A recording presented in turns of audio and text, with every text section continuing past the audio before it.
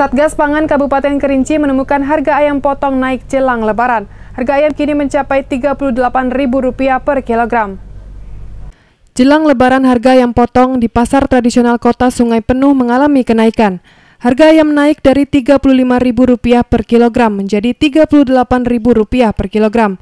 Hal ini terungkap dari hasil tim Satgas Pangan Kabupaten Kerinci.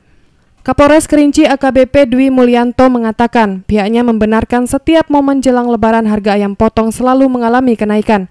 Untuk itu Kapolres berharap tim Satgas Pangan dapat mengendalikan harga ayam potong. Hal ini dilakukan dengan operasi pasar murah.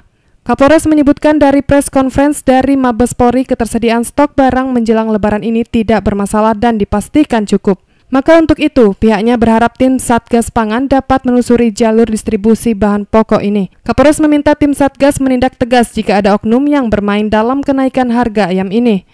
Ini mungkin nanti memanggil pelaku-pelaku usaha itu. Itu macetnya, macetnya biasanya di uh, distributor lah.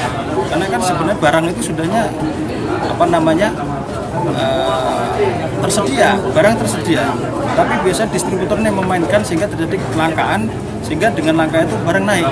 Itu juga sudah uh, kita buktikan tadi dari wawancara dengan pedagang uh, ikan bahwa kenapa bisa naik? Karena banyak yang ngambil dari tapahan dari tempat-tempat lain bukan cuma di lokal sini saja.